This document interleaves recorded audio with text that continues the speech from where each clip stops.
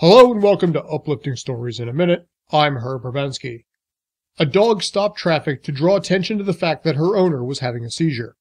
Clover, a one-year-old Maremma mix, was being walked by her owner Haley Moore in the streets of Ottawa when she unexpectedly had a seizure.